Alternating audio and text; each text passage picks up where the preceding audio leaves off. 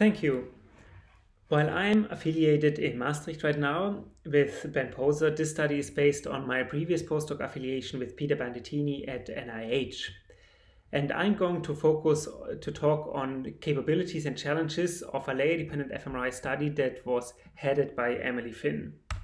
And I have nothing to disclose. Neuroscientific applications of layer-dependent fMRI are getting more popular. And while it started on primary areas, it has really taken off more and more to higher order, areas too. But there are still a lot of blank areas on the map here, especially in the frontal lobe, such as in the dorsolateral prefrontal cortex, DLPFC. And we know from the monkey electrophysiological literature that these areas also have functional specific microcircuitry. There are, for example, cue cells, there are delay cells, there are response cells that eventually trigger the motor output and each of them are aligned to specific cortical lamina. And for our study here in humans, Emily Finn found an old task of letter string sorting, which should engage the individual layers differently. So participants see these strings of letters and need to memorize them. And a short while later, there are cues to either maintain the order of the letters in the working memory or also sort these letters in their mind according to an alphabetical order. And based on the hypothesis of the microcircuitry right here, this alphabetization epoch of the task really modulates the superficial layers only. A short while later in the task, the participants are asked about the location of any random selected letter, letters in the strings, and then they need to do a response which engages the um, deeper output layers. And upon the analysis of the results, we find that this simplified microcircuitry model really nicely explains our measured signals. So this is the CBV weighted EPI with its inherent T1 contrast. And zooming into the dorsolateral prefrontal cortex here, you can see that the output response activity really nicely follows the deeper layers, whereas the alphabetization task mostly um, stays in the superficial layers. Or for example, looking at the temporal CBV responses here averaged across participants, you can see that the superficial working memory layers, they really shoot up as soon as the participants start with the alphabetization. And as soon as they found a response, the signal goes back to baseline. And this is very different for the deeper output layers that don't really care much about this alphabetization task, but only as soon as the participants found the solution and need to do a response, then the deeper output layers shoot up. And if you're interested about um, what these results contribute to our neuroscientific understanding of the working principle of DLPFC, I would like to refer you to Emily's preprint here. For the remainder of the talk now, I would rather focus on discussions of the fMRI challenges to get these results in the first place and share some lessons that we learned how to get there. The first big challenge we had to deal with was uh, to find the ROI. Unlike many primary areas, DLPFC does not really have clear anatomical folding landmarks, as you can see here for three participants. It's mostly this kind of bump coming out of the grammatic sheet in a very variable fashion. Thus, we always had to do this uh, six minute online localizer with real time analysis directly at the scanner console. And based on this location, then, we adopted a two pronged approach a moderate high resolution axial protocol covering both sides of the DLPFC, and on top of that, a higher resolution sagittal readout covering only one side. And zooming in here in the respective functional T1 EPI, you can see that we might be able to see layer patterns in both cases. And while the axial approach is barely sub-millimeter, we use those data to extract high-quality time courses of two independent layers.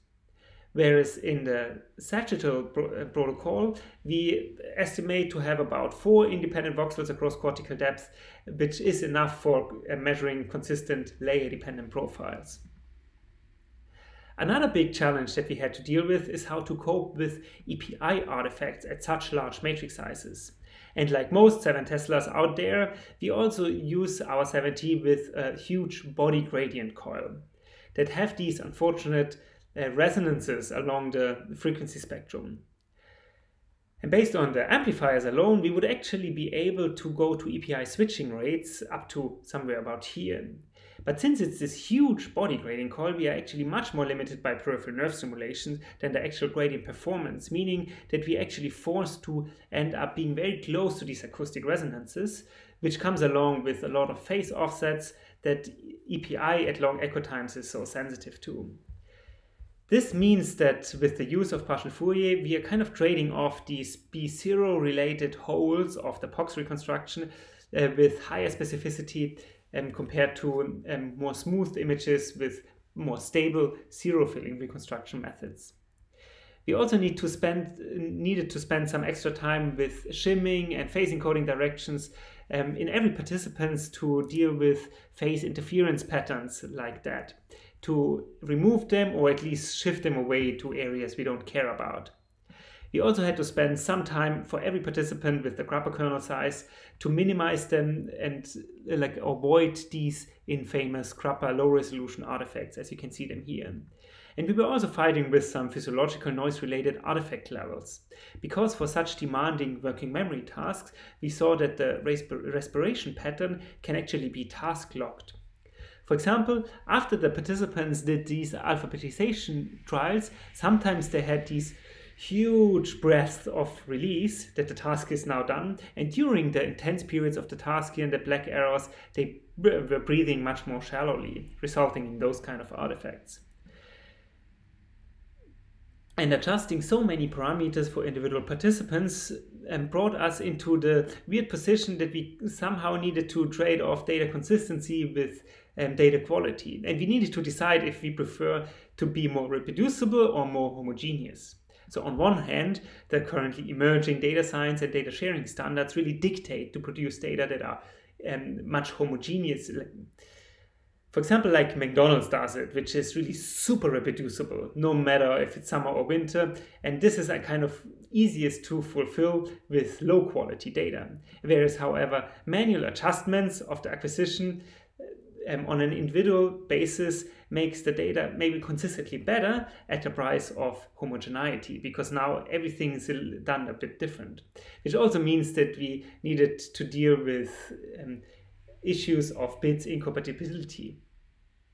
So we ended up um, leaving some critical parameters like echo time and resolution untouched, whereas adjusting the bandwidth and actually most of the reconstruction parameters on an individual participant level to deal with these aforementioned artifacts. I would also like to share some lessons that we learned about the applicability of event-related designs in layer-dependent fMRI for such cognitive tasks, because layer-dependent fMRI has some unique frequency limitations compared to conventional fMRI. Like for conventional fMRI, like HCP style data, you usually have like frequency spectra like that, where you, you might have these respiratory noise peaks, maybe aliasing of that. And at low frequencies, we have this 1 over f noise that we usually take care of with drift corrections. For layer dependent fMRI, this looks slightly different. Um, obviously, we cannot look at the high frequencies because we just don't have the TRs for that, but we can also not really interpret the medium frequency regime of like 6 to 15 seconds, simply because we don't have reasonable assumptions about this canonical HRF. We know that upper and deeper layers have different HRFs simply because they have different vascular compositions, meaning that any signal changes in this kind of frequency regime um, is probably coming from vessels, not really neural signals. On top of that, layer-dependent fMRI also is not really advantageous at low frequencies either, as you can see here with the higher 1 over f noise for the blue line compared to the red line. And this mostly comes from the fact that we are really pushing the gradients very hard, meaning that there is some temperature evolution, and we are also used to force very um, we are forced to use very low bandwidth, meaning that for the same frequency offsets, um, we are much more sensitive to um, signal changes simply because sometimes the spins are more in phase or out of phase. This means that we kind of end up only with a very narrow frequency window to encode our task.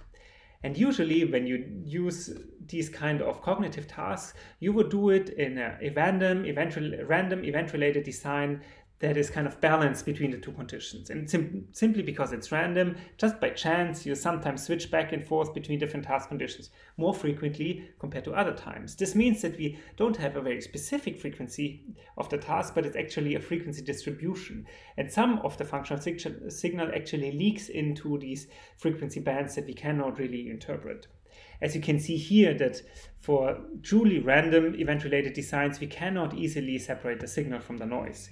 Whereas, for example, when we uh, manually reassign these different task conditions to better fall into the frequency domain, we can better separate the signal from the noise. Yet another lesson that we learned and that I would like to share with you is uh, concerns about uh, um, like noise amplification and noise management along the analysis pipeline for these high resolution noise driven data. For example, it really matters at which position along the analysis pipeline we do our um, signal extractions. So you all know that 1 over a plus 1 over b is not the same as 1 over a plus b.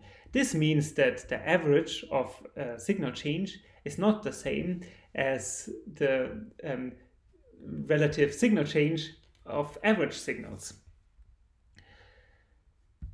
In other words, you get smaller signal changes if you take all your trials, first average them, and then do your signal change analysis compared to doing the activity analysis on an individual um, run level and then average those results.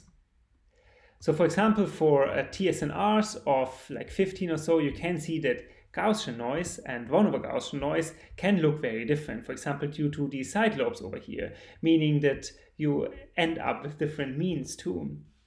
So we learned that it's really beneficial for uh, to first average the heck out of the data before we even start to normalize and extract functional signal changes. So we averaged across runs, across contrasts, across trial blocks, and even across voxels within layers and across neighboring time points before we started to compare signal activation and signal with rest.